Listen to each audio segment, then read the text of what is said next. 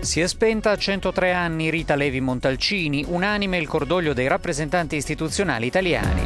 La sua è stata una vita dedicata alla scienza. Nel 1986 aveva vinto il premio Nobel per la medicina grazie all'identificazione del fattore di accrescimento della fibra nervosa. Dal 2001 era senatrice a vita.